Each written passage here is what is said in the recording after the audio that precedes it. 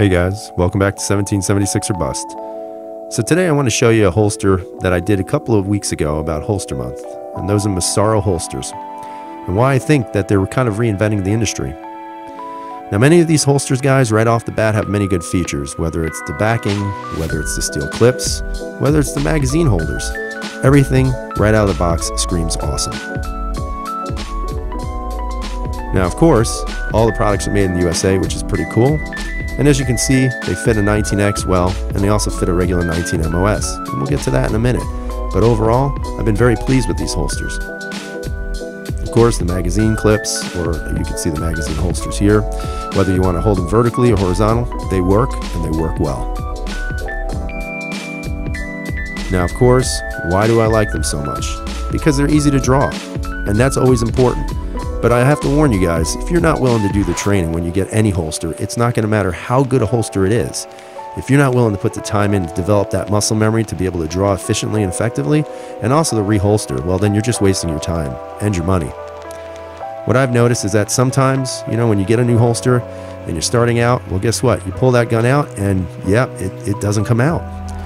Now, of course, over time, you're going to get it down. And that's more important than anything else because you want to be an effective carrier of any firearm that you have with you.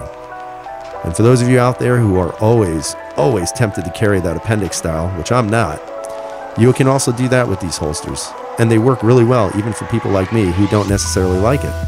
But again, training is everything. And if you're not willing to train guys, guess what? You're going to fail. And failure is not an option when it comes to carrying a handgun. Again, you may not always get it right the first or the second time, but if you keep trying, ultimately, you're going to get it. And it always makes you happy because you feel like you accomplished something. Now, in regards to the holsters, guys, one of the features that I like the most about it is, of course, they come standard already cut to be able to support red dots. And for those of you out there who are in the red dot world, well, guess what? I got it for a 19X, and now I have my 19 MOS, and I'm really excited to know that I don't have to go out and spend money for another holster which always sucks. But then again, you look at the footprint of these holsters, they're small.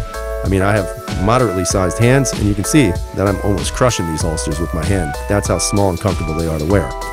The double clip, same thing. Not very large, but not too small where it's not going to support the weight of your handgun, and those steel clips make a huge difference.